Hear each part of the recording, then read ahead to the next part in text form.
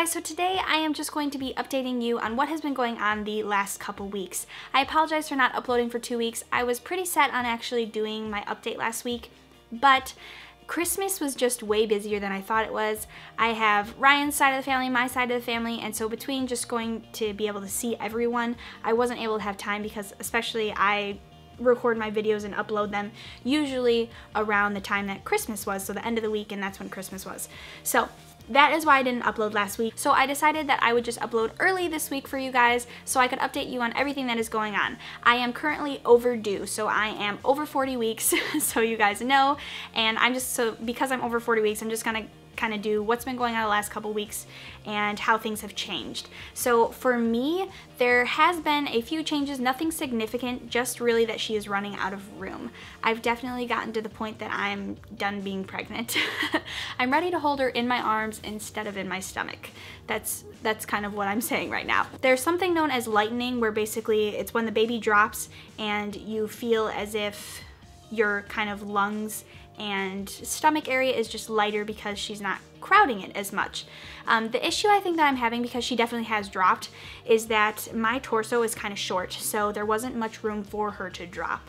So my lungs and my stomach still crowded the same amount and she still is up in my ribs with her feet and so it hurts. So I have the bruised ribs still obviously, um, which actually it's been less, but she does get crammed up there sometimes with her feet. But definitely I have felt that the bruising on my ribs has become less, so that's been nice. Obviously because she is 40 weeks now, there really isn't much more developmental wise. I think in the last few weeks when they are growing, the only thing that really continues developing is the brain, um, but she is perfectly ready to come out. If she came out now, she should be perfectly fine, but she is the size of a watermelon, and that's kind of scary to think about pushing out a watermelon. but at least baby's not shaped like a watermelon. So, but she is, um, I think weight-wise is what they're talking about the size of a watermelon. So that is really it for updates for her and development and how big she is and such. Other things for me, I have gotten nausea. I didn't have nausea really at all my first trimester, nothing my second, but the last couple weeks I've been getting it for sure, but it seems to be in the morning mostly or at night before I go to bed. I get really nauseous and it's definitely not fun. And I've been getting headaches more so, it almost seems like sinus headaches because they're around my nose. And so I've been getting those kind of frequently too, so that has not been fun. Getting into some TMI stuff, I have lost my mucus plug completely. um, so yeah, that's not really fun to think that's gross. But I have lost that, but that's a good sign because it means that labor is coming. Now, there is the ability for that to grow back, but because I lost it so close to my due date, I don't think it is going to. And on Wednesday, I have an appointment. Now, I want to tell you guys kind of updates about my last two appointments because I don't think I told you about either, but I can't remember for sure. So, two weeks ago, I had my appointment and she told me I was one centimeter dilated. She didn't give me a number for cervix softness, but her words were, wow, you're really soft and that baby is very low. um, but she only told me I was one centimeter dilated. That's the only like number she gave me. And so I was like, oh, well, that's, you know, good news that my cervix is really soft because your cervix softens to get you ready to push the baby through. Um, and so I was like, well, that's good news. And so I went last week to my appointment, hoping obviously for some kind of progression because at that appoint at that last appointment, I was now 40 weeks. I had met with one of the men obstetricians. Now, at least in my area, it's pretty common that you have your gynecologist, which works in an office with a bunch of other gynecologists, and then you choose your one and that's the one gynecologist you see. Then once you get pregnant, everyone in that practice becomes your obstetrician. So it's basically whoever happens to be on call when you deliver is the one that delivers your baby. So you see all of them throughout your pregnancy and that's the way that my doctors were and I had not met this doctor yet because you guys know that I switched doctors a little bit last minute and so I had not met him yet and the first thing when he came in he swore. now you guys know that me and my husband don't swear we've we don't swear on our daily vlogs or anything like that. And it doesn't make me uncomfortable. I have people that are close to me in my family that swear pretty regularly. I'm used to hearing it. It was just strange because he's a doctor. I found it very unprofessional and just strange, especially because he'd never met me. He didn't know what I was comfortable with as his patient and he was swearing. I just found it to be very unprofessional for a doctor to swear Um, and I almost felt like he was doing it to try and make himself seem cool because I'm younger. And to me, it just made him uncool because it was just very unprofessional, especially being a doctor that delivers babies. I found it very strange. And so that was kind of strike one for me not liking this doctor. Then the second part was he went to check me to check um, dilation, cervix softening stuff. He checked me for maybe three seconds. I kid you not, maybe three seconds. For those of you that have had babies, you know that is not very long at all. The last two times I was checked, it was probably at least 20 or 30 seconds. And when he was done checking me, he didn't say anything, like at all. Um, the last two doctors told me immediately what everything, what was going on and how things were down there. Um, and he didn't say anything. He just kind of, it almost seemed like he was talking to himself in his head. And he went over to his computer and started typing things in. And eventually I got annoyed and was like, am I the same? What's going on? And he said, I think you're the same, but I didn't want to force it. So now we're going to get into a little TMI information. I know at least for me, when I meet with a guy gynecologist or a guy um, obstetrician, first thing you look at are the size of his hands because they're going to be checking you in places. Um, which is why, at least for me, I prefer a woman gynecologist. That was not the issue. So he had lady fingers for sure. So when you, some of you may be thinking, well, he's got man hands, so he didn't want to force it, so that's why he didn't really fully check you. No, he had lady fingers. That was not the issue. So the only thing he told me was, I think you're the same. And I'm just kind of sitting there like, what does that even mean? Like, I'm 40 weeks. I don't want to hear I think. I want to hear for sure what's going on because I am now 40 weeks. I'm full term. I want to know what's happening. And it more felt like he was just, it was almost like he was treating the appointment like it was, I was eight weeks as opposed to 40 weeks. And it was just very frustrating. It was like pulling nails to get him to tell me anything. He wouldn't like nothing. And it's not even that I just want her out, you know, obviously I want to make sure that she is ready to come out when she's ready. Um, it's just frustrating when you're 40 weeks and your doctor doesn't really tell you anything about what's going on.